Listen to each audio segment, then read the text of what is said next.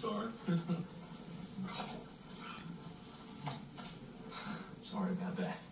Uh, I didn't mean to scare you. You um um, are you hungry?